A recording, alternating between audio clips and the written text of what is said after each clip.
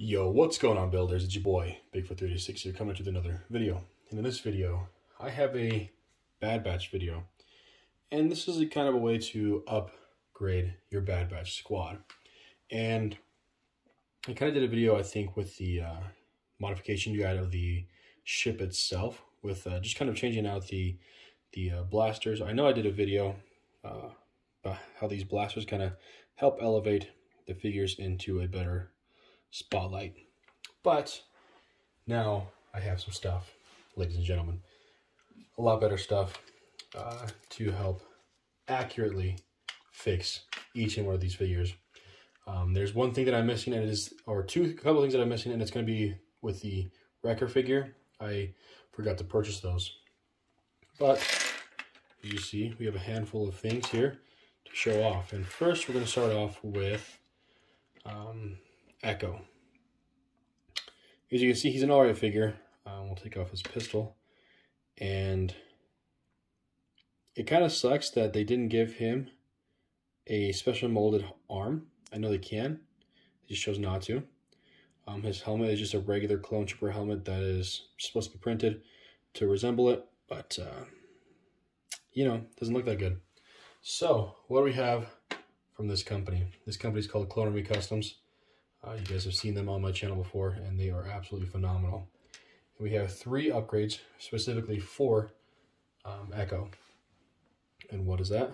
Well, get rid of this helmet, put on his new one.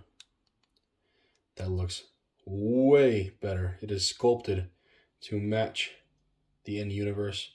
It is 3D printed all the way around. And actually, we're going to do we're going to visit Tech real quick, and we're going to take his backpack off because he's a piece that I'm missing. And I kind of messed this up a little bit. Uh, I got the wrong backpack for um, Echo. And so in my memory, I was correct, but uh, we're going to take off the back piece off of Tech. But um, so we have a special uh, waist cape cloth on a special printed for Echo. And if I my hands would work with my brain, be great. Okay, I just had to get it on. And it wraps all the way around. And the problem with Lego's version is it has the printing for the front, but where's the side printing? Well, that's where Lego sucks. And they couldn't even do that for us. That's why Clone Army Customs and other third-party co uh, companies are significantly better. And here we go. There's a waist cape now for Echo that has his pistol holders, or holsters, not pistol holders, they're holsters. And now, we're going to pop off his, the only person that comes with arm printing, his arm off, and take this one, and now he has his correct right arm. And the best part is that this is a special molded. This is this is what Clone, Clone Army Customs made for this figure. And they have two variations. They have a dark gray to match their own personal uh, coloration of figures, and Lego's version. This uh, would be the pearl, like the dark gray pearl um, version to match the body and whatnot. But look how much better that is um, with the actual Lego body, but upgraded pieces and whatnot. Absolutely phenomenal what uh, Clone Army Customs did in their team. That's that's a standout figure. That's just insane, in my opinion. And with that piece in the back, this is supposed to be uh, Wrecker's backpack, apparently, which I was unaware of. In my memory, I swear this was um, Echoes, but it's supposed to be Wrecker's. Um, but to me, that looks pretty solid. Um, Wrecker has a special armor set and a new helmet that I'm going to order um, for him, and the and I have the backpack. Um, but that's a, another story, and we, I will um, show you an updated version, uh, maybe like a make a short video of it. But now tech. So obviously we know how much Tech's helmet sucks. Um, but first, the upgrade for Tech is this backpack. Custom molded and painted absolutely phenomenal. My original mod was to give him a keypad, you know, to type around with, But his helmet, look how terrible his helmet is. I mean, yeah, it's cool for what it is, you know, special helmet. But wow, it's just so terrible. He can't even look. Look at that. Look at the range of motion. It's garbage. That's when Clone Army Custom comes in and proves they're superior. He can now look if you wanted. It's I just want to be gentle. Um, I had one problem is this antenna was uh, weak when I got it, but uh, you can move his helmet. Sorry, you probably can't even see that. Um, you can move his helmet left to right. Um, it's a little tight, so it moves his head also. But his goggles also go down so he can translate, like in the in the actual um, show. But uh, this also comes in two colors. It comes in a white variation, and the figure also comes in a white variation on their personal figure that they made for uh, Bad Batch.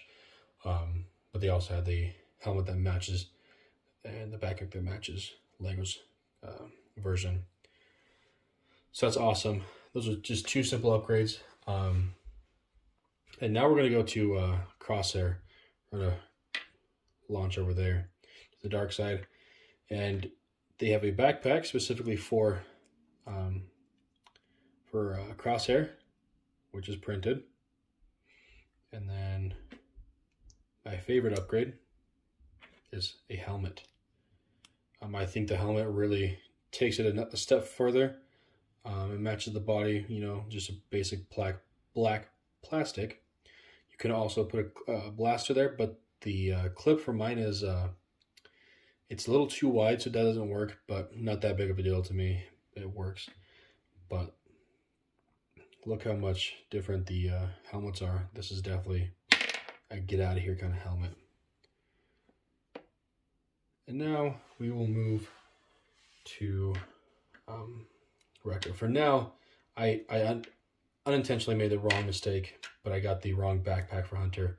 So the armor does not work this with uh, with Wrecker, not Hunter, with Wrecker.